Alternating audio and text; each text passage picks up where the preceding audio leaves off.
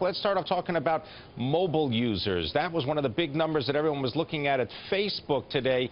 49% of ad revenue comes from mobile. Is that just going to get bigger? That's correct. It's a pleasure to be here, and it's, it's a great day for Facebook. That number is going to continue to go up. Uh, mobile users, of course, across the board are increasing. But what's really cool is Facebook's managed to figure out how to monetize these mobile users, and that's something that every platform's been trying to figure out how to do. Now, the platforms are also trying to figure out how to incorporate video that is contributed by their users. Tell us about what that means for the future of these companies. Definitely a lot more interactive advertising. That's what companies are asking for, and that's what Facebook's eventually going to deliver. So in the next few weeks, we're actually going to see Facebook roll out more video advertising, more interactive. We've already seen them do sponsored ads. Facebook's figured out that the more you make advertising relevant to people and within context, users will definitely click through. Well, what about Instagram? What are their plans there, and who are the big competitors?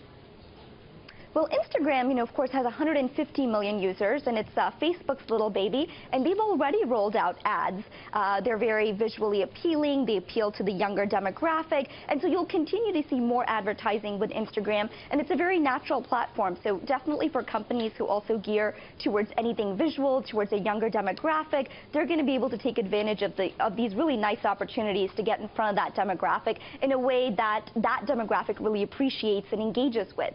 Uh, Shama, can you define what is Zen marketing? How does that apply to social media? Well, Zen marketing is all about going with the flow, right? So giving the customers what they want, keeping the users happy. You're not hammering away a new message. You're really working with what they already like and trying to get to be part of that conversation. So the more you kind of weave yourself into their lives and do it in a way that's non-obtrusive, non-intrusive, then the easier your marketing gets. And that's really the philosophy behind Zen. Well, is it possible, though, that people really don't necessarily want to create their own content? They want others to create better content content, more interesting content for them. Is there a way to blend the two? Oh, absolutely. So you have your content creators who love creating content, but you also have your content curators who engage with content in a more passive way. You know, they like things, they, they share things, they read them, but they're not necessarily creating content, and that's okay. There's a place in the social world for, for both those personalities. Now, the market for Facebook results look as though the United States and Canada are about half of the business right now. But that's not the future, Correct. is it?